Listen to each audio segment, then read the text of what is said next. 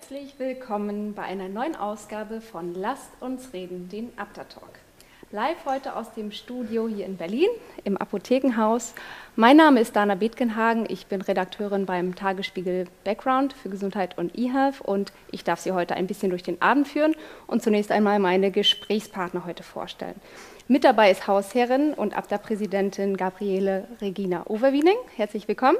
Guten Abend, Frau und direkt neben mir sitzt äh, Dirk Heidenblut, langjähriger Abgeordneter bei der SPD-Bundestagsfraktion und auch Berichterstatter für die Apotheken. Von daher hier genau richtig, denn wir haben heute tatsächlich einiges zu bereden, wie Sie zu Hause an den Bildschirmen wahrscheinlich auch wissen.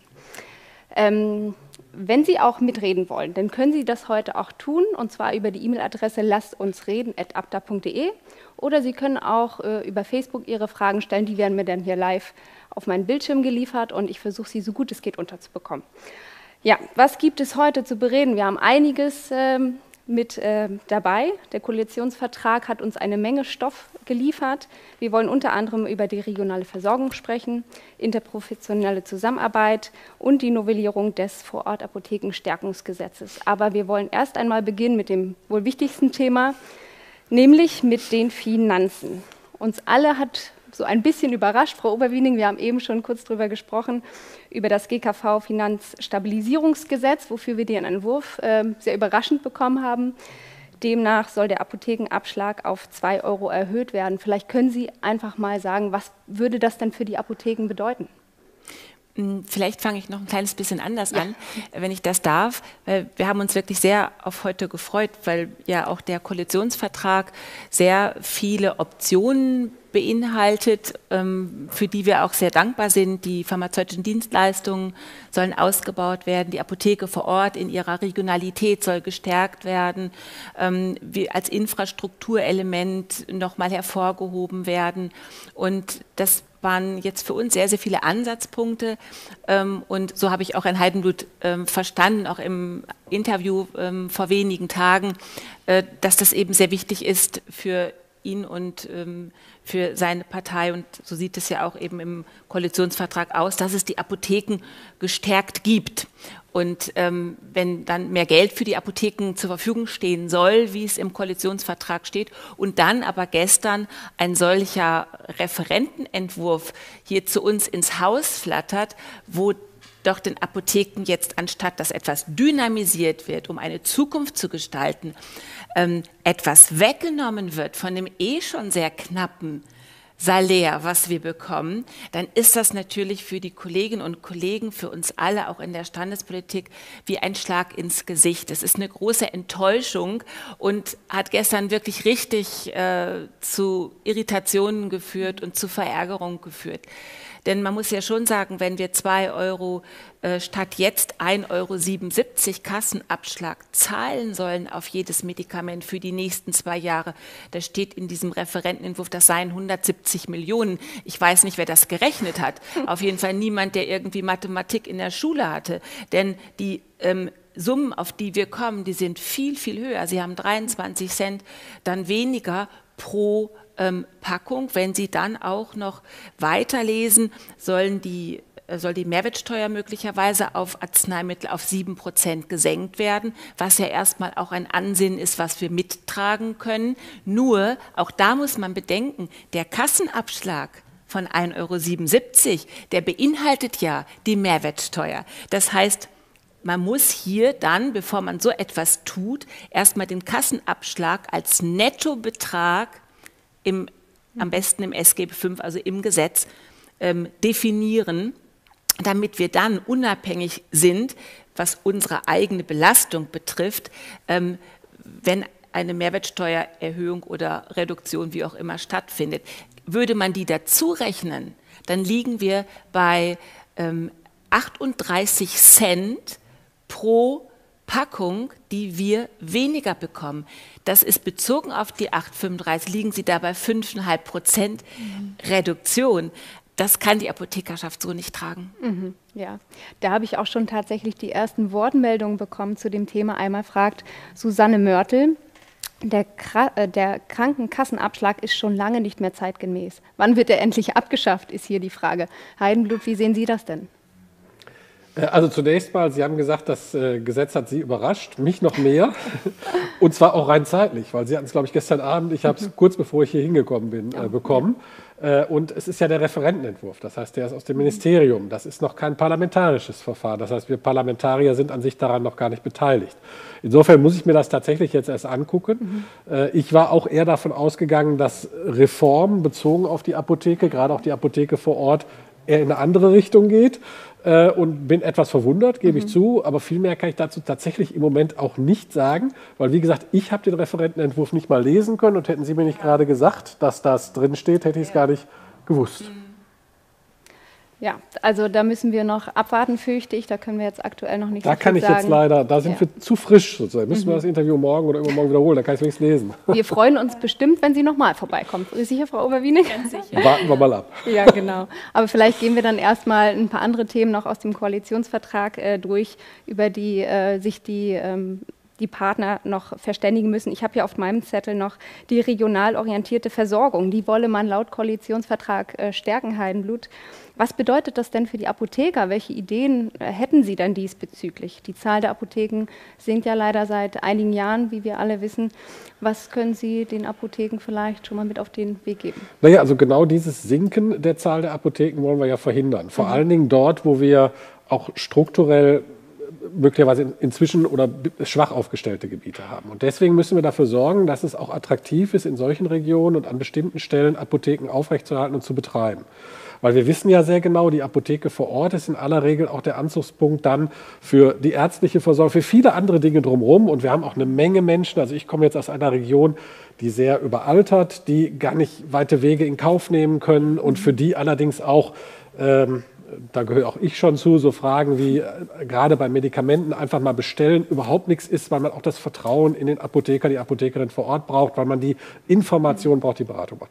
Und deswegen ist die Stärkung der regionalen Versorgung aus meiner Sicht, und das ist, findet sich im Koalitionsvertrag dann ja auch an vielen Stellen wieder, und jetzt haben wir gerade mhm. beim kontraproduktiven Punkt gesprochen, eigentlich eine Frage, die sich durch Stärkung der finanziellen Situation der Apotheke mhm. vor Ort ergibt, weil nur die sorgt dafür, dass sie erstens regional besser verankert ist und dass zweitens auch eine vernünftige Bezahlung auch der Mitarbeiterinnen und Mitarbeiter erfolgen mhm. kann. Auch das ist ja kein uninteressanter Punkt, wenn man mal an Fachkräftemangel denkt. Ja, da kommen wir bestimmt nachher nochmal drauf auf das Thema, ein ganz wichtiges. Aber Frau Oberwiening, mich würde noch interessieren, welche Ideen haben Sie dann? Wie kann das dann in der äh, regionalen Versorgung besser laufen in Zukunft? Also wichtig wäre äh, einerseits natürlich die finanzielle Absicherung. Das ist einfach entscheidend, wenn ich ähm, an einer Stelle, egal wo sie ist, davon nicht mehr leben kann, dann kann ich diese Versorgung da auch nicht mehr aufrechterhalten. Also wir müssen sehen, dass eine ordentliche Vergütung der Apothekerinnen, Apotheker, der Apotheken ähm, wieder stattfindet. Dann ist sicherlich eine ein Ausbau der pharmazeutischen Dienstleistungen mhm. Äh, sehr, sehr begrüßenswert, wie es im Koalitionsvertrag steht. Da haben wir zurzeit die Schwierigkeit, dass wir mit den Krankenkassen noch nicht einig sind, welche pharmazeutischen Dienstleistungen jetzt tatsächlich die Apotheke anbieten kann und vergütet bekommt. Das sind auf jeden Fall auch wesentliche ähm, Elemente, um auch den ähm, Apotheker in seiner in der Wahrnehmung durch die Menschen noch mal wieder anders und besser zu positionieren als echten Ansprechpartner für viele Fragen rund um die Gesundheit und die Arzneimitteltherapie. Und auch das muss ordentlich vergütet werden. Aber auch der Notdienst ähm, ist ein Thema, ähm, auch hier haben wir zwar Not, die Notdienstpauschale in den letzten Jahren angehoben, dennoch ist da äh, doch eine große eine große Belastung in der Kollegenschaft. Wir wollen das ja, wir wollen ja auch 24 Stunden lang erreichbar sein. Ähm, und gerade da in der Fläche, wenn man viele dieser Notdienste macht, dann muss die Vergütung einfach auch da nochmal angepasst werden. Möglicherweise auch die, nicht nur die pauschale Vergütung, möglicherweise auch die Vergütung pro Rezept, ähm, dass da nochmal ein entsprechender Aufschlag ähm, mhm. kommt wir brauchen auch durch ausreichend ähm, Anerkennung und Reputation und die bekomme ich natürlich auch, indem ich noch etwas mehr Entscheidungsspielräume kriege. Ähm, ich sehe das oft im, im, Notdienst, dann kann ich die Patienten nicht versorgen, ähm, weil ich die Entscheidungskompetenz nicht habe. Mhm. Da kann man, glaube ich, auch sehr viel machen, gerade in der Fläche, ähm, wo die Arztdichte gering ist, wo, die, wo es kaum Krankenhäuser gibt, wo die Patient, auch die, ähm, die ähm, Apothekendichte gering ist, dass ich da doch mehr Entscheidungskompetenzen bekomme als Apotheke, damit ich gut versorgen kann. Mhm. Wenn wir gerade, wollen Sie da nochmal einhaken? ich wollte nur sagen, ja. im Grunde haben Sie aber aufgezählt, was im Koalitionsvertrag steht. ja, ja ganz Punkten, genau. Ganz genau. genau das, nämlich die pharmazeutischen Dienstleistungen, halte ich ja. übrigens auch wieder unter dem Gesichtspunkt Attraktivität der Tätigkeit, absolut. auch für die Mitarbeiterinnen und Mitarbeiter für einen ganz wichtigen Punkt, aber auch für die Frage Verbindung zu den Menschen für einen genau. wichtigen Punkt. Mhm. Ähm, natürlich dann auch für die Arzneimitteltherapie Sicherheit als solche, weil die Apothekerinnen und Apotheker haben da die Hol. Aber eben auch die Frage Not- und Botendienste, all das sind Punkte, die wir genau angesprochen mhm. Haben und die wir uns auch vorstellen. Ich kann jetzt noch keine Details sagen, weil das muss ja unter Koalitionspartnern Partnern abgesprochen werden. Und so weit sind wir tatsächlich noch nicht. Äh, aber die wir uns auch vorstellen, in all diesen Punkten hineinzugreifen und zu schauen, dass wir was verändern und verbessern können. Mhm. Hier darf ich noch eine kleine Ergänzung machen. Was uns auch stark belastet an etlichen Stellen ist eine wirklich große bürokratische Hürde, mhm. die viel Kraft kostet, Ressource kostet und auch demotivierend sein kann. Auch da gibt es ähm, etliche Ansatzpunkte, wo wir uns dann nochmal zusammentun können und schauen können, wo können wir da äh, auch entlasten. Mhm. Das wäre wichtig. Also Bürokratieabbau haben wir uns ja nicht nur bezogen auf die Apothekerinnen und mhm. Apotheker, sondern ganz grundsätzlich, grundsätzlich ne? auf die ja. Fahne geschrieben. Jetzt weiß ich, wenn so ein großes Thema grundsätzlich auf die Fahne geschrieben ist, ist die Frage, was kommt da am Ende mal raus? Ja. Aber gerne kommen wir dazu auch ins Gespräch, was das sozusagen für ja. Apotheken äh, bedeuten kann und mhm. wo man ansetzen kann, weil mhm. ich glaube auch, dass das immer wieder ein Punkt ist, der ähm, einfach zu einer Mehrarbeit führt, die am Ende mhm. bei Pflanzen auch nicht vergütet wird, genau. aber die natürlich Zeit kostet, die Ressourcen kostet und äh, das ist schwierig und schlecht. Ja, und ja. häufig übrigens auch für Patientinnen und Patienten natürlich eine sehr unangenehme. Geschichte. Ich habe verschiedene Fragen. Sie haben jetzt mehrere Punkte angesprochen. Jetzt muss ich schauen, wie wir das gut unterbekommen. Einmal zu den pharmazeutischen Dienstleistungen. Da fragt Mobin Takbankul, das Apothekenhonorar sinkt. Kann man die pharmazeutischen Dienstleistungen exklusiv für die Vorortapotheken lukrativer gestalten? Was ist die Position der Abda? Und vielleicht fangen wir aber mit Herrn Heidenblut an. Was können Sie denn dazu versprechen vielleicht schon? Naja, also dass wir sie attraktiver gestalten wollen und das hängt aus meiner Sicht auch mit der Finanzierung zusammen. Wir haben ja auch sogar in der letzten Legislatur, Sie haben gerade gesagt, Sie sind sich noch nicht einig, wie wir es machen sollen, aber wir hatten ja eigentlich schon ein Paket auch auf den Weg gebracht. Aber ich glaube, das ist allerdings gerade exklusiv für die Vorortapotheken eine Möglichkeit, sich auch nochmal sozusagen abzuheben und nochmal eine besondere Form auch der Vergütung, auch der, der Arbeit zu bekommen. Ja, überhaupt keine Frage. Mhm. Also was ich zusagen kann ist, das steht im Koalitionsvertrag, genau diesen Punkt werden wir anpacken und der ist genau dafür auch gedacht, aber natürlich auch für eine bessere Versorgung vor Ort. Das muss ich auch immer dazu sagen. Mhm. Es geht ja nicht nur darum jetzt, weil das, wir reden immer viel über Vergütung und Vergütungsanteile, es geht ja auch darum, dass, also ich komme jetzt auch unter anderem aus dem Präventionsbereich, Vorsorgebereich, dass wir an den Stellen auch Menschen andere Zugänge eröffnen und damit Verbesserungen bewirken. Also es ist ja nicht nur so, dass wir das, das äh, Portemonnaie füllen, das ist mhm. sicherlich auch ein Aspekt, der dabei rauskommt, aber es ist auch so, dass ich für die Menschen eine weitere Möglichkeit schaffe, jemand, der eine hochqualifizierte Fachkraft, ein Heilberufler, Heilberuflerin ist, auch dann mit den Kompetenzen zu versehen und mit den Möglichkeiten zu versehen, da was zu tun. Und da sind die Dienstleistungen aus meiner Sicht ein wichtiger Schritt. Mhm. Was können Sie denn zu dem Thema noch sagen? Ja, ich möchte unbedingt anknüpfen. Ähm, Herr Heidenmuth hat es gerade schon so schön gesagt, äh, das, was uns Apothekerinnen und Apotheker ausmacht, ist ja, dass wir dicht an den Menschen sind. Und das haben wir jetzt gerade in der Pandemie so bewiesen, dass wir resilienter, widerstandsfähiger, zuverlässigster Partner waren. Und die Menschen haben uns vertraut und das mit Recht und haben bei uns all das eben dann auch bekommen, was sie gebraucht haben. Auch die Politik hat das erkannt und zwar mit jeder Aufgabe, die wir übernommen haben, hat Politik das mehr erkannt und hat gesagt, oh, die Apotheke in der Fläche, ja, bitte übernehmt doch das noch, bitte könnt ihr da noch helfen, dass die Menschen damit zurechtkommen, könnt ihr den Menschen hier noch äh, die Dienstleistung ähm, angedeihen lassen. Und das haben wir alles umgesetzt und haben dadurch die Infrastruktur in der Fläche stabilisiert. Die Menschen haben gesagt, okay, ich werde hier in meinem Sprengel, in meinem Quartier, in meinem Ort gut versorgt über die Apotheke. Das heißt, ich habe eine stärkere Identifikation mit meinem Ort. Ich bleibe auch dann gerne da, weil da versorgt mich eben auch in gesundheitlichen Fragen die Apotheke in vielen Bereichen sehr gut.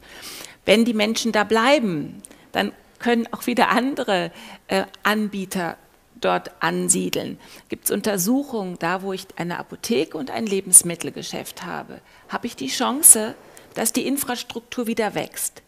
Wenn eins von beiden verschwunden ist, dann habe ich keine Chance, dass diese Infrastruktur wirklich wieder gesundet. Mhm. Denn Menschen ziehen nicht dahin, wo sie nichts finden an Angeboten. Und ich glaube, das ist so ein wesentlicher Punkt, auch wenn wir über die alternde Gesellschaft nachdenken, wenn wir über ähm, die ganzen Herausforderungen nachdenken, die auch die digitale Welt mit sich bringt, wo Menschen vielleicht nach einem empathischen Kontakt lechzen, dann wären wir das genau in der Fläche. Und das jetzt zu fördern, das ist meines Erachtens die unbedingte Aufgabe der Politik. Mhm. Da brauchen wir sie auch. Also wir brauchen die Politik da für die Rahmenbedingungen. Ähm, wir machen alles mit in diese Richtung, ähm, brauchen aber da natürlich den entsprechenden gesetzlichen Support. Ja. Darf ich da noch mal kurz einhaken, mit welchen pharmazeutischen Dienstleistungen rechnen Sie dann? Aktuell ist es ja im Schiedsverfahren, wie ja. wir leider wissen. Ähm, welche könnten dann dazukommen? Mhm. Ja, wir haben äh, von unserer Seite her ein relativ breit gefächertes Angebot entwickelt, eben auch Gradprävention, weil das ein ganz wichtiger Bereich ist, der ja oft zu kurz kommt. Also wie können wir sehr früh erkennen, ob jemand ein Herz-Kreislauf-Problem hat, gefährdet ist, einen Herzinfarkt zu bekommen, einen Schlaganfall zu bekommen. Ähm, wie können wir die Gefährdung ähm, bei einem potenziellen Diabetiker erkennen? Ähm, das wären Präventionsangebote, die wir gerne machen möchten, mhm. die aber die Krankenkassen zurzeit eben noch nicht äh, annehmen möchten. Aber auch natürlich die ganzen Arzneimitteltherapie-Sicherungs- ähm, Angebote, von Medipläne erstellen, die dann verlässlich sind. Wir wissen, dass Medikationspläne heute nicht stimmen. Mhm. Also die Menschen haben Medikationspläne in ihren Taschen und sie sind zu, ich glaube, das sind über 80 Prozent, sind sie nicht stimmig. Ähm, dass wir da intervenieren, dass wir da helfen, dass sie stimmig werden, dass die Menschen auch eine Sicherheit kriegen, dass wir Medikationsanalysen ähm, anbieten können, dass wir das sensibel erfragen, dass wir aber auch leichte ähm, Dienstleistungen anbieten, die jetzt nicht unbedingt drei Stunden brauchen. Auch das ist wichtig. Ähm, wenn jemand gerade das erste Mal seine Medikation bekommt, dass wir ihn intensiver begleiten. Also ich könnte jetzt noch eine ganze lange Reihe aufzählen. Es gibt so viel. Nur ich möchte an der Stelle ähm, mich schon noch zurückhalten mit den konkreten Dienstleistungen, die jetzt gerade in der Schiedsstelle besprochen mhm. und verhandelt werden. Weil das ist immer ungünstig, wenn wir da jetzt von außen intervenieren. Äh, das müssen die Verhandlungspartner für sich jetzt regeln. Aber es gibt wirklich eine, finde ich, sehr dezidiert erarbeitet, einen sehr dezidiert erarbeiteten Katalog mit sehr sinnhaften, ähm, den Menschen dienenden, der Gesundheit der Menschen dienenden ähm, pharmazeutischen mhm. Dienstleistungen. Mhm. Heidenblut, ich wüsste gerne noch, ähm, wie das aussieht. Im Koalitionsvertrag steht ja drin, dass man die Dienstleistung besser honorieren möchte. Dabei ist das ja aktuell noch in der Cheatstelle. Gehen, gehen Sie nicht davon aus, dass es da eine gute Einigung geben wird, dass man das schon so ein bisschen vorab in den Koalitionsvertrag geschrieben hat?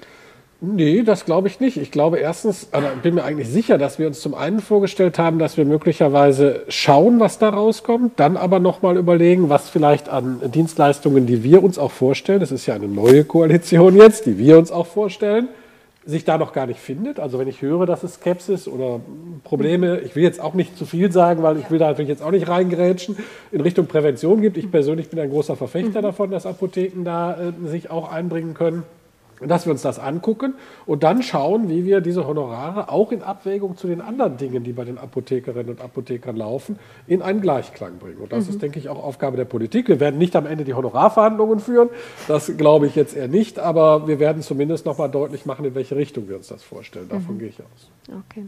Ein anderes Thema, was jetzt auch äh, schon ganz viele Fragen hier mit sich gebracht hat, äh, bezieht sich nochmal auf den Nacht- und Notdienst. Ähm, der soll laut Koalitionsvertrag zu einem sicheren Sicherstellungsfonds weiterentwickelt werden.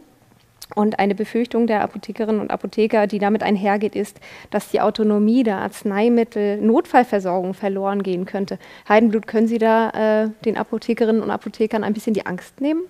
Ja, weiß ich nicht, ob ich jetzt schon die Angst nehmen kann, weil äh, am Ende gibt es ja noch kein Gesetz dazu, das werden wir uns dann anschauen. Aber ich, was ich sicher sagen kann, ist, das ist nicht vorgesehen. Es ist nicht mhm. vorgesehen, in die Autonomie einzugreifen, sondern es ist vorgesehen, das einfach mehr zu bündeln. Ich finde auch den Begriff Sicherstellungsfonds muss man nochmal überlegen, wie gut das dann äh, gewählt ist. Aber die Idee ist einfach, es nochmal besser und vernünftiger zu bündeln, aber ohne, dass wir in die Autonomie äh, mhm. da eingreifen. Ähm, das wird dann zu besprechen sein, wenn wir die Details machen. Da kann ich jetzt tatsächlich noch nicht so viel zu sagen. Okay. Ähm, ich würde hier mal gerne eine Frage von äh, Sven Linnertz mit einbringen, vielleicht an Frau Overwiening. Wie kann ein Notdienst besser, gerechter, ökonomisch gestaltet werden? Für uns als ländliche Apotheke mit einem Notdienst von circa alle 13 Tage bei nur zwei Apothekern ist der Notdienst nicht zuletzt aufgrund relativ jung gegründeter Familien eine große Herausforderung. Also wir müssen an der Stelle schon sagen, dass wir als Heilberufler eine auch akzeptierte Verpflichtung eingehen, ähm, Notdienste zu leisten. Das ist ja gerade auch einer unserer ganz besonderen an oder eines unserer ganz besonderen ähm, Angebote auch der Gesellschaft an die, ähm, an die Menschen, wenn du nachts Schmerzen hast, wenn du nachts Hilfe brauchst, dann darfst du sicher sein, dass du jemanden findest. Und wir können das natürlich jetzt nicht für alle ähm, Kammerbereiche in ganz Deutschland sagen, wie exakt dort die Belastung ist. Aber sie haben eine durchschnittliche Belastung, die von, ja, die letztendlich von uns getragen werden muss. Ähm, ich kann empfehlen, wenn wir jetzt an die digitale Welt äh, denken, dass wir möglicherweise durch digitale Tools nochmal mhm. schaffen, die Verteilung der Notdienste nochmal zwischen Land und Stadt zwischen dichterer und weniger dichter Bevölkerungsregion, ähm, dass wir das noch ein bisschen besser aufstellen können, dass die Verteilung noch ein bisschen gerechter ist. Manchmal hat man es in Kreisen aufgeteilt und wenn Sie zwei Apotheken haben, die jeweils an dem äußeren Rand des Kreises sind, dann sind sie nicht weit voneinander entfernt und haben möglicherweise beide Notdienst, was dann nicht nötig wäre. Ich kann mir aber auch gut vorstellen, dass wir nochmal eine bessere Verzahnung hinkriegen, ähm, möglicherweise unter uns Apothekern ähm, oder das, ich kenne das auch von, von Kammern, die haben sogenannte ähm, Notdienst. Apotheker, Apothekerin, das sind Freiwillige, die melden sich und sagen, wenn mal irgendwo wenn es brennt, dann stehe ich auf dieser Liste und stehe zur Verfügung. Also viele Kammern führen solche Listen, dass man sich da dann nochmal auch Entlastung schaffen kann, wenn die Belastung gerade besonders groß ist.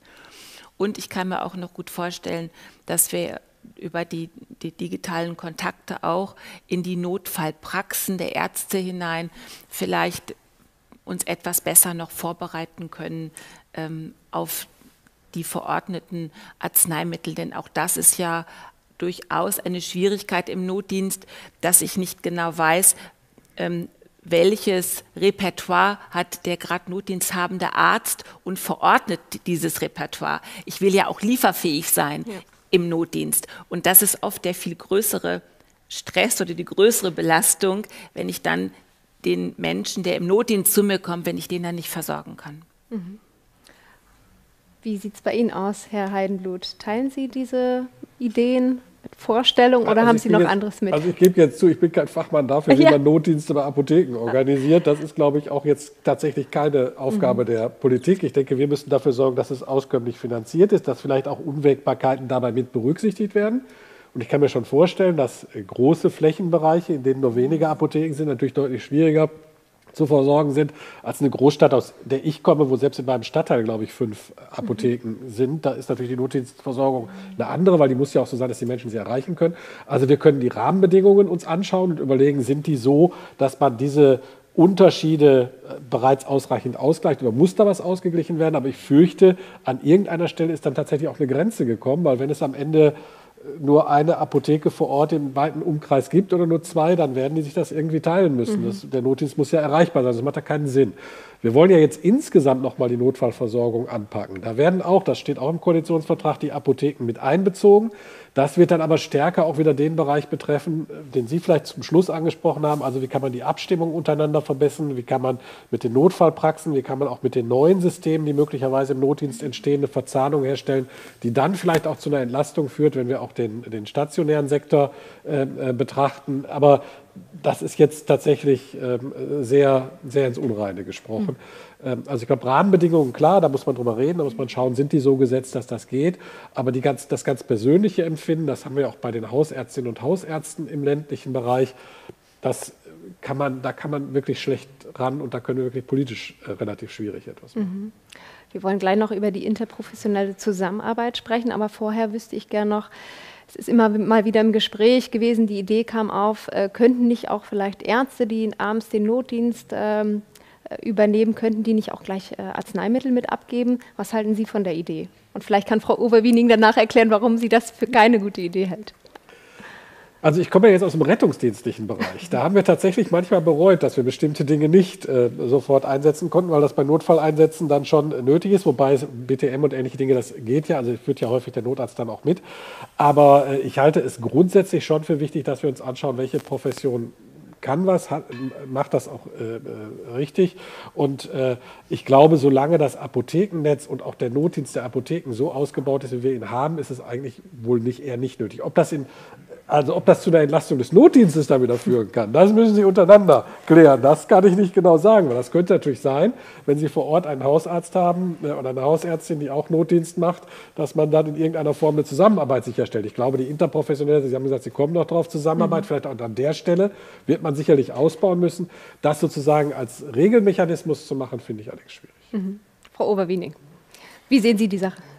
Ja, das, das, Dispensieren, wie das ja so schön heißt, von Arzneimitteln durch Ärzte im Notdienst, ähm, halte ich für eine absolut falsche äh, Intention. Ich sehe überhaupt auch keine Vorteile darin.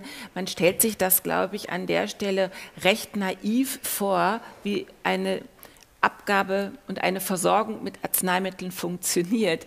Das äh, ganze Regelwerk, was dahinter steht, das kann ja gar nicht geleistet werden. Wie groß müsste der Koffer sein, den der Arzt mitnimmt, um dann eine Auswahl zu haben? Uns wird oft gesagt, ja, wieso habt ihr denn nicht mehr Arzneimittel da? Ich brauche doch das und das und das. Also ähm, alleine bei diesem Beispiel sieht man schon, wie absurd diese Idee ist. Das, was der Arzt direkt anwenden möchte, die Spritze, die er direkt geben möchte, das darf er ja.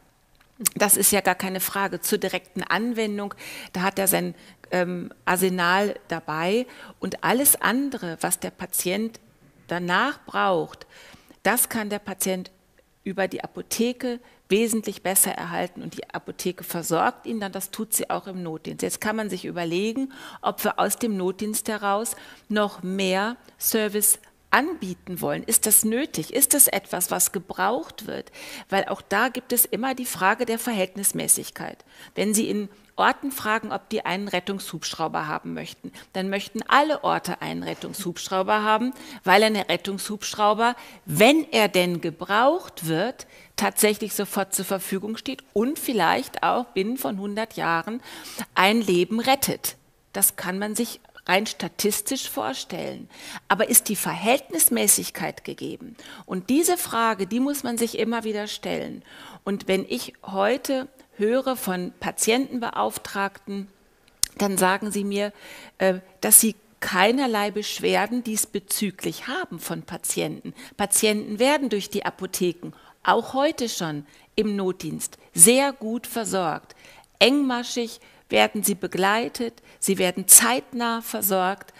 Und sollte es da aber Wünsche geben, weil wir stärker in Convenience denken und, und sich unsere Wertevorstellungen ähm, verändern, sodass wir doch eine Verhältnismäßigkeit hier mit Ja beantworten, dann kann man sich Konzepte überlegen, ob Apotheken im Notdienst möglicherweise zu bestimmten Stunden auch ihren eigenen Botendienst ähm, einsetzen. Das bräuchte aber dann, ich komme wieder zur Verhältnismäßigkeit, es bräuchte auf der anderen Seite noch die entsprechende Vergütung. Das kann natürlich nicht zu dem Tarif passieren, zu dem heute Notdienste geleistet mhm. werden, die ja da eh schon auch doch zu einer Unterfinanzierung führen. Ja, da sind wir dann wieder bei dem Thema Finanzen. sich der und Kreis. Dazu passt hier vielleicht auch eine Frage von Daniela Henel, die ein bisschen allgemeiner ist, aber an Dirk Heidenblut gerichtet. Was ist der SPD die Zeit- und Wohnordner Arzneimittelversorgung der Bevölkerung in Deutschland rund um die Uhr wert? Oh. die, die, will jetzt aber hoffe ich keine, keine konkrete Zahl hören. Aber äh, also was ich sagen kann, ist, dass wir die zeit- und wohnortnahe Versorgung der Bevölkerung für einen absolut wichtigen Punkt haben. Dass, dass wir deshalb auch die Frage der Vorortapotheke und der Apotheke, die da ist, die auch gut funktioniert und damit auch auskömmlich funktionieren kann, ganz deutlich im Fokus haben. Also ist durchaus so, dass das, was wir da im Koalitionsvertrag haben, auch etwas ist, was wir durchaus auch in klarer Form tragen. Und mhm. insofern kann ich nur sagen, es ist uns viel wert. Das ist jetzt ein abgedroschener Begriff. Ich kann Ihnen jetzt aber nicht sagen, wie viel 1000, 100.000 Millionen uns das wert ist. Aber wir müssen sicherlich Geld in die Hand nehmen, um sicherzustellen, dass das Gesamtsystem so stabilisiert wird, dass wir diese Apotheke vor Ort erhalten können. Und wie gesagt, aus meiner Sicht müssen wir eben sogar noch darüber hinausgehen und dafür sorgen, dass sie noch mit mehr Dienstleistungen mhm. sogar noch besser vor Ort erkennbar und wertvoller für alle mhm. wird. Darf ich das noch einmal unterstützen? Super gern. Wenn, wenn Sie sich anschauen, wie die Wertschöpfung ähm, der Apotheken im Laufe der letzten Jahre gesunken ist im Verhältnis zum gesamten Umsatz der gesetzlichen Krankenversicherung. Dann kommen wir ähm, von vor einigen Jahren bei etwa 3,4 Prozent des gesamten ähm, Haushaltes der gesetzlichen Krankenversicherung lag bei den Apotheken, also 3,4 Prozent. Die Verwaltungskosten der Krankenkassen liegen weit, weit höher. Wenn Sie jetzt ins Jahr 2021 schauen, dann ist die Wertschöpfung der Apotheken noch bei knappen 2,3 Prozent. Das heißt also, ähm, die Inflationsrate geht nach oben, Personalkosten gehen nach oben, der GKV-Haushalt, ähm, Krankenhäuser, ähm, Versorgung über die Arztpraxen, alles steigt, aber die Wertschöpfung der Apotheke geht nach unten. Und insofern möchte ich das so unterstützen, was Sie gerade sagen, um diese Versorgung auf diesem hohen und wirklich auch gebrauchten Niveau ähm, zu halten, bedarf es, bedarf es entsprechender zusätzlicher Investitionen in dieses System. Was aber dauerhaft zu Einsparungen an anderer Stelle führen wird, weil diese gute Versorgung, die schafft eben auch, dass Menschen in der Ambulanz gehalten werden können, dass Menschen nicht ins Krankenhaus müssen, weil wir eine gute AMTS haben, weil wir dafür sorgen, Prophylaxe zu betreiben und, und, und. Dann wiederhole ich mich und bin wieder bei dem von vorhin. Ich wollte es nur unbedingt nochmal unterstützen mit diesen Zahlen 2,3 Prozent Wertschöpfung. Wie wenig das ist. Mhm bevor wir auf das Thema interprofessionelle Zusammenarbeit kommen, das habe ich nicht vergessen, aber es passt jetzt vielleicht ein bisschen besser, ist äh, das Vorort-Apothekenstärkungsgesetz. Das war ja das große Thema der vergangenen Legislaturperiode für die Apothekerinnen und Apotheker. Und nun haben sie eine Novellierung angekündigt, ziemlich schnell, wie man äh, von außen meinen könnte. Und darin heißt es auch äh, im Koalitionsvertrag, Effizienzgewinne innerhalb des Finanzsystems sollen genutzt werden. Bedeutet das nicht eher Cost-Cutting, Herr Heidenblut? Was nee, müssen wir uns darunter vorstellen? Nee. Also Effizienzgewinne im, im, Finanzsystem zu nutzen heißt nicht Cost-Cutting, sondern heißt im Zweifel zu schauen, wo werden möglicherweise, wir haben über Bürokratiefrage und ähnliche Dinge ja schon gesprochen, wo werden möglicherweise Ressourcen verbraucht, die ich da nicht brauche und mit denen ich Ressourcen freisetzen kann, die ich an anderen Stellen dann vernünftig nutzen kann. Das heißt aber nicht, dass ich, dass ich sozusagen äh, mit dem, mit dem Rasiermesser oder wie auch immer durchgehe und sage, ich schneide jetzt mal überall erstmal, also es mhm. klingt jetzt blöd nach dem, was wir ganz zum Anfang gesagt haben mit der Erhöhung auf 2 Euro, aber das ist eben eigentlich nicht die Absicht, dass ich jetzt sozusagen erstmal gucke, wo nehme ich was weg und dann mal schaue, wie kann das verbessert werden, sondern unser Ziel ist ja, ähm, äh, das, was das Gesetz sagt, nämlich die Vorortapotheke zu sichern, auch wirklich zu erreichen. Und das wird man nicht erreichen durch schlichtes Wegstreichen von Mitteln. Das wird im Zweifel genau das Gegenteil bewirken. Mhm. Nicht im Zweifel, das wird recht sicher Ganz genau sicher. das Gegenteil bewirken. Sondern das wird man erreichen dadurch, dass man Mittel effizienter einsetzt. Da bin ich noch gar nicht dafür. Sie haben gesagt, ich bin lange im Gesundheitsbereich und bin gerade erst, gerade erst Berichterstatter für Apotheken. Ich will das nur wenigstens erwähnen. Da bin ich jetzt noch nicht so tief drin, ob es aber, also ich habe bisher in allen Gesundheitsbereichen gesehen, dass es auch Dinge gibt. Bürokratie ist ein Aspekt, aber manchmal eben auch Doppel, also wir, wir kennen ja in, in, in, auch Doppeluntersuchungen im Ärzte und so weiter und so fort, wo man überlegen kann, ob die Kosten wirklich gut eingesetzt sind, äh, Effekte, die sich aus Digitalisierung ergeben, etc. pp. Aber äh, nicht um das Geld rauszunehmen aus dem System, sondern um es effektiver einzusetzen. Und an sich, und das haben wir gerade bei den Dienstleistungen ja auch deutlich in den Koalitionsvertrag geschrieben, geht es darum, adäquate Honorierung reinzupacken ins System. Und auch das wird Teil der Novellierung, denke ich, sein. Beruhigt Sie das erstmal, Frau Overwienig? Also ich, äh, ich setze schon sehr auf das parlamentarische Verfahren, sage ich mal an dieser Stelle. Und ähm, natürlich ist es, es sehr, ähm, gestern sehr, sehr schockierend gewesen. Ähm, nur ich denke mal, wenn wir hier an der Stelle zusammenarbeiten und gemeinsam versuchen, dann äh, auch aus diesem Referentenentwurf diese dieses Pauschal, pauschale Rasieren äh, wieder rauszukriegen, dann ähm, ja, können wir anschließend sehr gut kreativ und konstruktiv weiterarbeiten. Ich glaube, das, das muss unser gemeinsames Bestreben sein.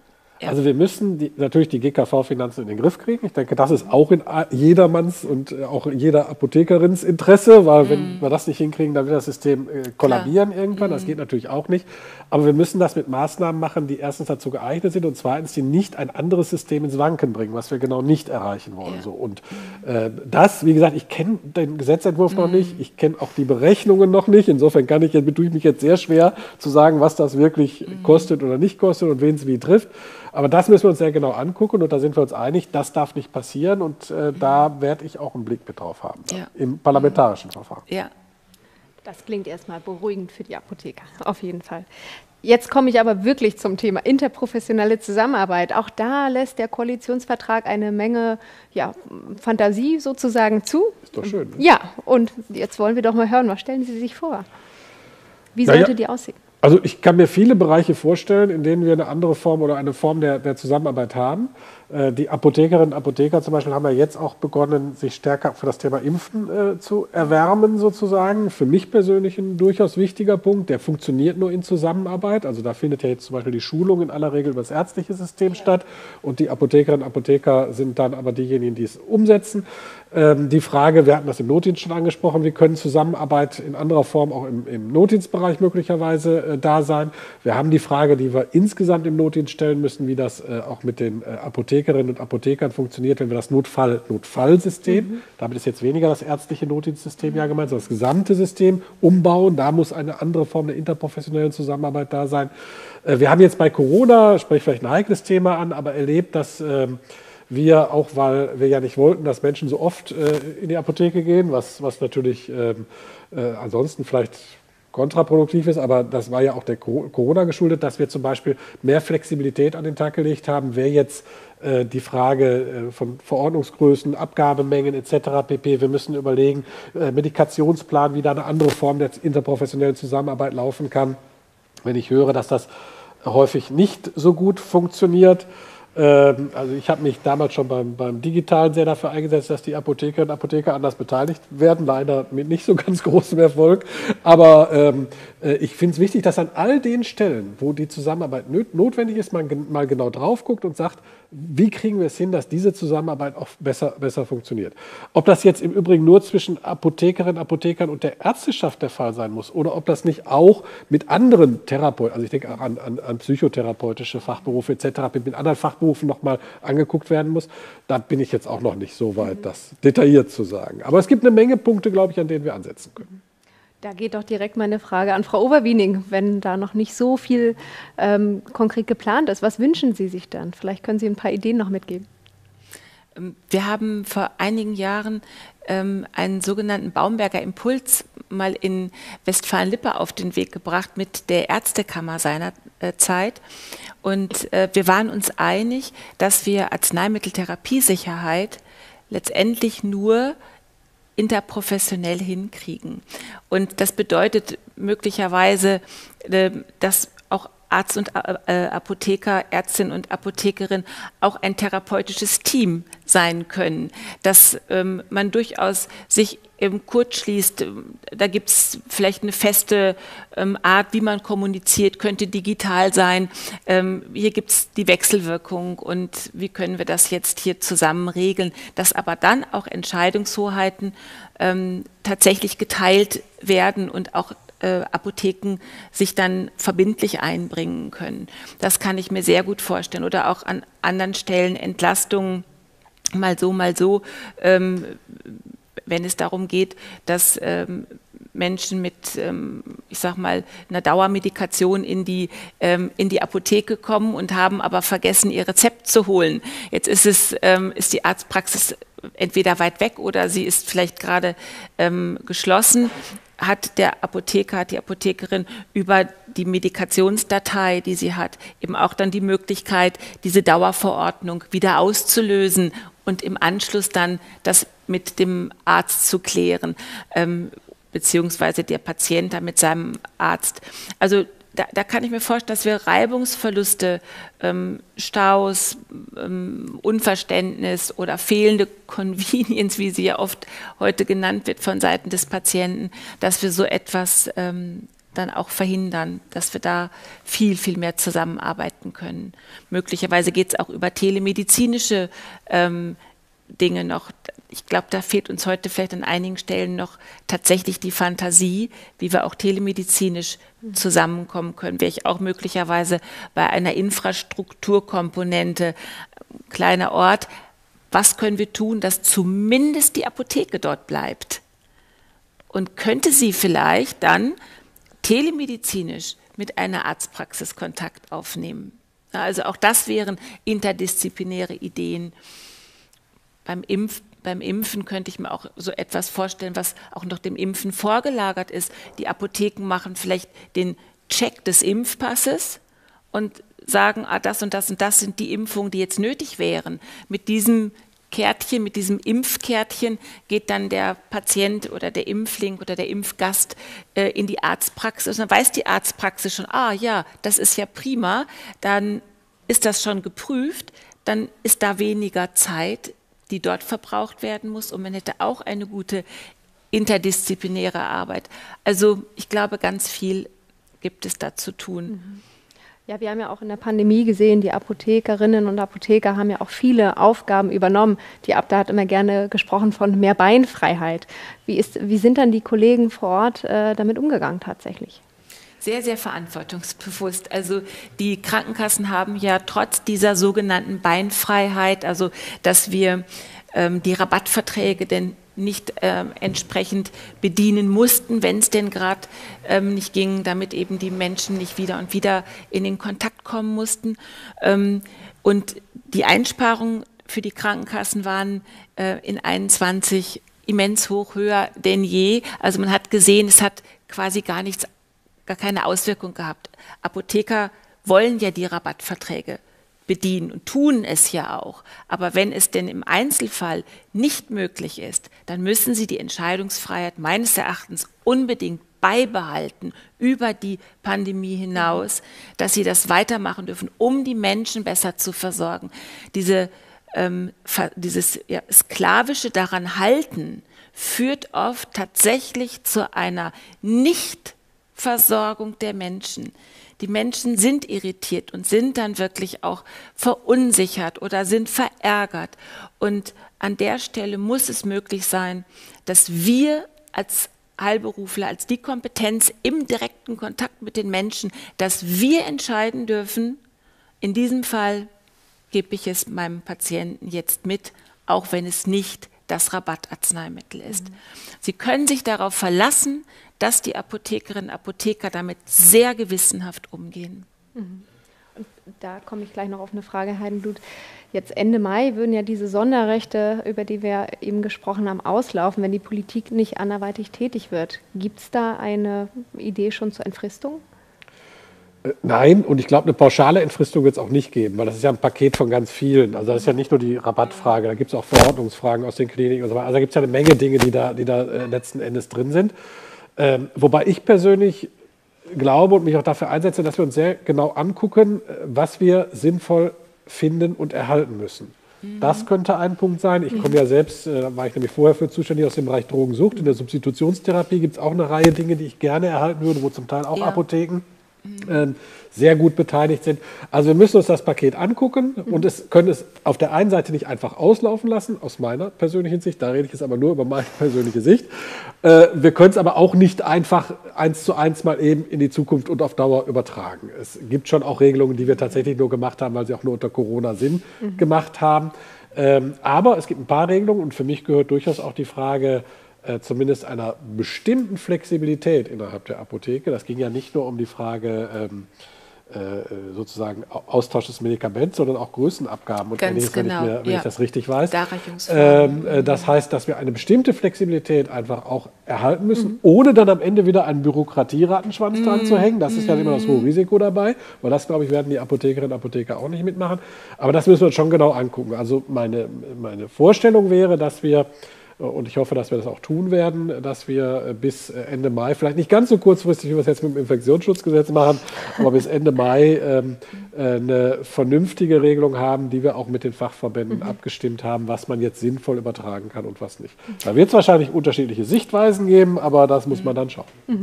Wir werden Ihnen äh, jetzt einige Vorschläge ähm, dann in den nächsten ähm, Wochen machen. Dann kommen wir darüber in, genau. in, die, in die, ganz konkrete Umsetzung, ne? dass wir doch etliche Sachen verstetigen und dann in, in einer wirklich auch sehr sinnvollen und ähm, ja, guten Form das interessiert unsere Zuschauer, die übrigens die ganze Zeit noch Fragen stellen können. Die habe ich hier immer auf dem, auf dem Screen. Äh, also nochmal die Erinnerung, gerne über Facebook oder auch über die E-Mail-Adresse lassunsreden.abda.de. Aber uns interessiert natürlich auch, welche sind dann das? Welche Sachen sollten verstetigt werden aus Ihrer Sicht? Und wo könnte sich Herr Heidenblut vielleicht schon ähm, ja, dazu. Ja. ja, wichtig, das, was ich eben schon gesagt habe, dass wir Rabattverträge ähm, auch ähm, nicht bedienen können dürfen.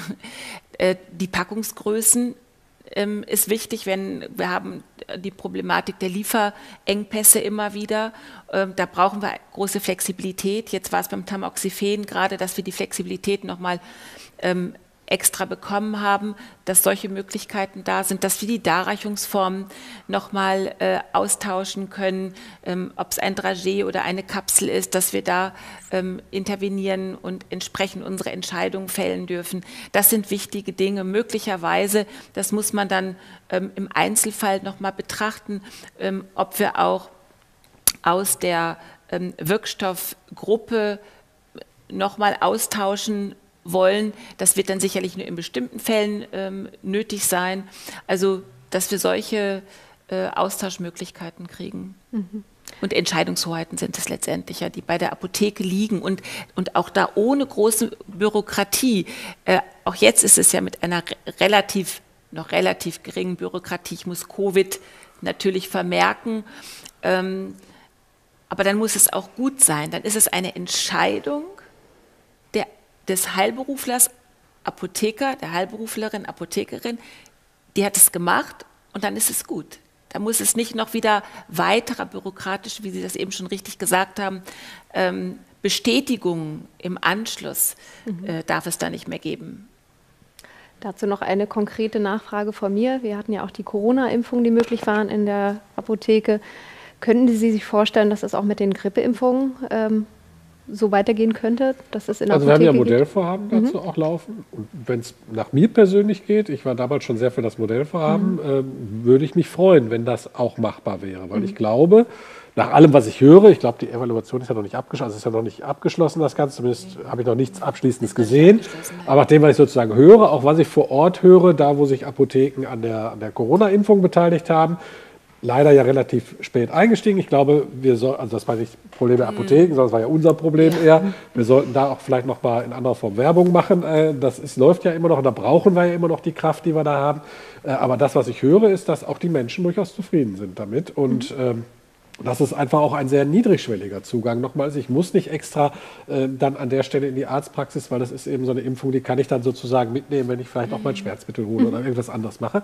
Und äh, insofern ist das einfach äh, für mich auch ein wichtiger Aspekt. Also ich bin ein großer Fan davon, wenn das, ich würde mich auch freuen, wenn sich noch mehr Apotheken beteiligen würden. Ähm, wenn das wirklich auch ähm, äh, so ins Portfolio aufgenommen würde. Ich weiß, dass das nicht allen so gefällt, aber meine persönliche Sicht ist das schon. Gut, dann äh, warten wir mal ab, was das Modellprojekt äh, so für Ergebnisse bringt. Jetzt habe ich noch eine Frage, da geht es um Arzneimittelmarkt und Investoren an Herrn Heidenblut. Robert Sibbel fragt, stört es Sie persönlich oder die SPD, dass der deutsche Arzneimittelmarkt zunehmend von ausländischem Kapital dominiert wird? Die Gesundheitsversorgung in Deutschland als Spielball von Spekulanten, ist das wirklich von Ihnen, Ihrer Partei oder Ihren Wählern gewollt? Nö. Kurz und knackig. da weiß ich jetzt gar nicht, das ist ja, jetzt, das ist ja. ja fast eine rhettorische Frage gewesen. Weil, ich denke auch. Also, mich zu fragen, ob mich, das, ob mich das nicht stört, also das stört uns natürlich schon massiv.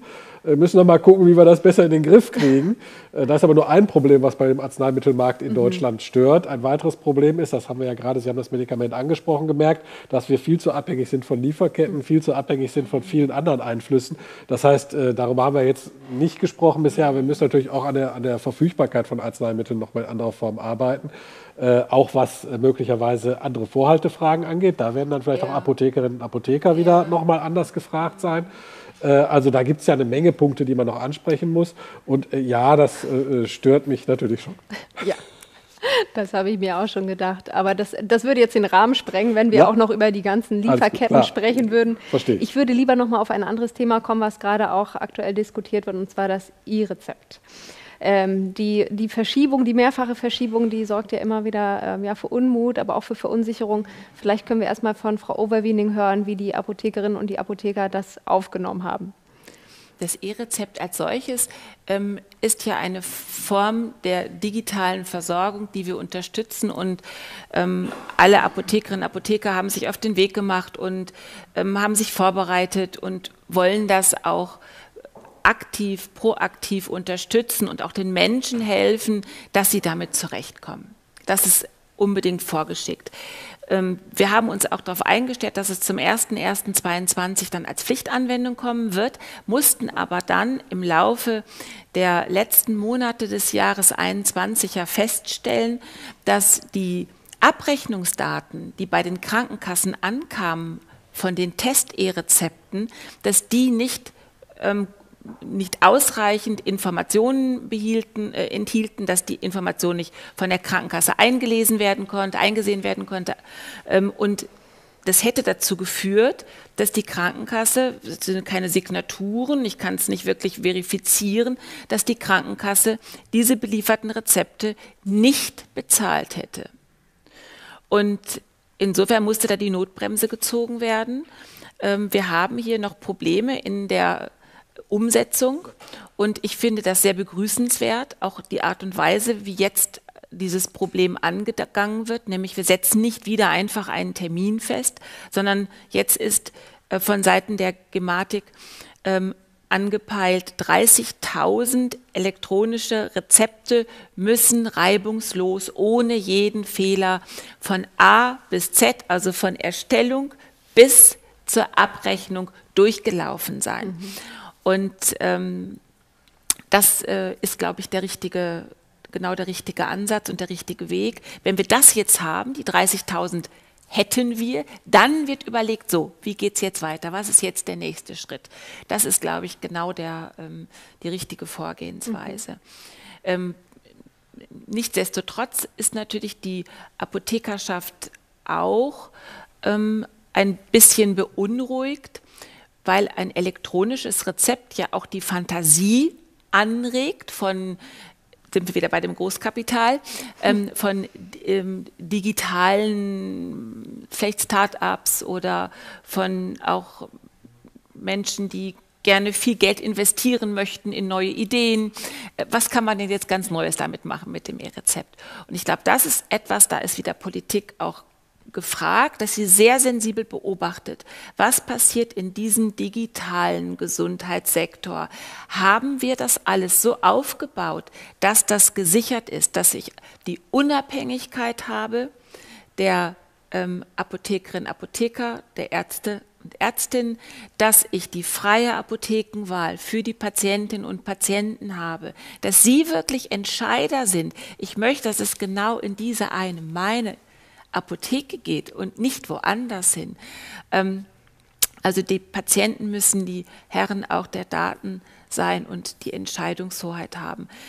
Ähm, Habe ich vielleicht durch das E-Rezept etwas wie eine, ich sag mal, äh, Trivialisierung der Arzneimittelversorgung, dass man sagt, ach so, das kann ich einfach so im, im, im Kosmos hier rumschicken, das ist gar nicht mehr was Besonderes. Da muss man auch aufpassen, wo gibt es da Grenzen? Nein, das geht eben nicht. Also es muss immer auch der Kontakt mit dem Arzt gewesen sein. Und wenn es denn ein digitaler Kontakt war, aber es muss ein Kontakt da gewesen sein, bevor ein Rezept ausgestellt wird. Sie haben heute durchaus einfach Fragebögen im Internet. Da wird angekreuzt, was man gerne hätte. Und unten drunter sagt Ihnen noch der Algorithmus, naja, Sie müssten Frage 3 nochmal anders beantworten, damit wir Ihnen das geben können. Dann geht man nochmal auf Frage 3 und antwortet anders. Und dann heißt es unten im Text, dass das Medikament von der XY-Apotheke zugesandt wird, nachdem diese Apotheke sich, wo auch immer, ein Rezept geholt hat weil Sie haben ja alles angekreuzt. So etwas ist ein, nach meiner Auffassung, ein rechtsfreier Raum geworden. Auf den haben Sie gar keinen Einfluss mehr, wenn Sie den Patienten schützen möchten. Und so etwas, da ist die, glaube ich, große Aufgabe für die Politik, wenn sie E-Rezepte sicher für alle auf den Weg bringen will, dass sie sich auch mit solchen Auswüchsen beschäftigt und überlegt, wie können wir hier Grenzen setzen und können die Menschen davor schützen. Also zum einen glaube ich natürlich, wir haben schon bei der Frage E-Rezept eine Reihe Bremsen reingeschlagen an verschiedenen Stellen, gerade auch um davor zu schützen, dass hier zum Beispiel Handel mit, mit Rezepten betrieben wird, diese mhm. Plattformfragen und so weiter und so fort. Da haben wir ja durchaus Grenzen rein. Das, was Sie jetzt schildern, höre ich tatsächlich das erste Mal. Ähm, äh, das, ich bin nicht mal sicher, ob das ein rechtsfreier oder nicht schon ein rechtlich bedenklicher Raum ist, aber da, lasse, ja. da lege ich mich jetzt mal nicht fest. Äh, aber äh, das, äh, das ist etwas, was natürlich kein Mensch wollen kann, dass ich quasi mein Rezept ungesehen, äh, ich meine, das, das verstößt ja, ja auch gegen den ärztlichen Kodex in ja. jeglicher Form, ungesehen bei irgendwem äh, mal bestelle nach persönlichem mhm. Wunsch. Äh, bei verschreibungspflichtigen Medikamenten geht das geht ja nun überhaupt gar nicht. Äh, also das muss man sich dann nochmal anschauen. Klar ist, das E-Rezept soll am Ende äh, Fortschritt bringen, soll, ja. soll, schnellere Dinge bringen, soll auch Patientinnen und Patienten durchaus entlasten, soll aber auch das System entlasten. Aber es soll natürlich nicht das System sozusagen vom, vom Kopf auf die äh, oder von den Füßen auf den Kopf stellen, genau. in dem genau. Fall ja natürlich. Äh, soll, es soll ein sicheres System sein, es soll ein vernünftiges System sein. Und natürlich, und dafür haben wir auch bei der elektronischen Patientenakte gekämpft, und das gilt beim E-Rezept genauso, die Patientin, der Patient muss die Hoheit über dieses Rezept haben. Aber eben auch nicht die Hoheit in der Form, wie Sie sie gerade geschildert haben.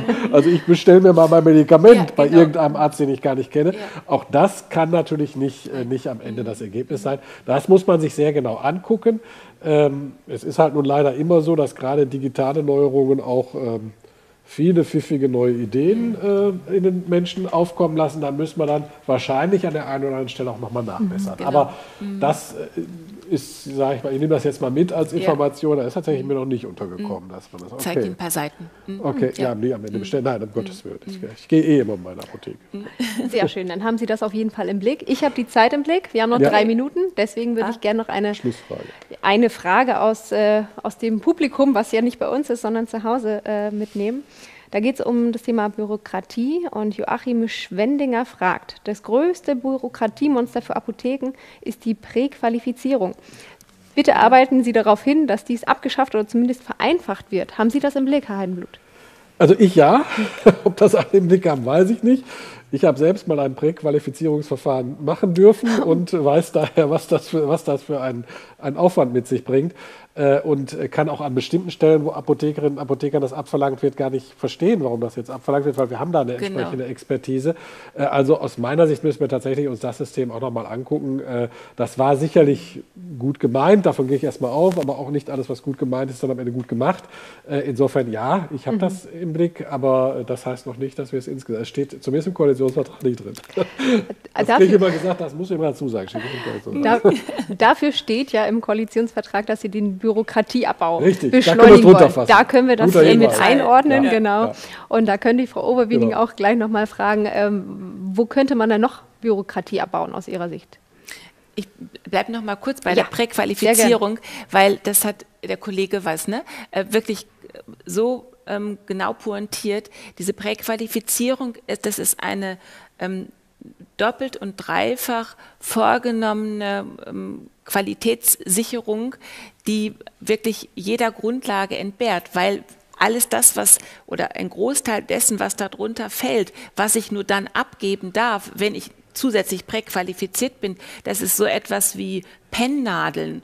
Ähm, dafür sind wir qualifiziert. Wir haben eine Betriebserlaubnis, die attestiert uns, dass wir entsprechend der Apothekenbetriebsordnung unsere Apotheke ordentlich führen mit all den Anforderungen.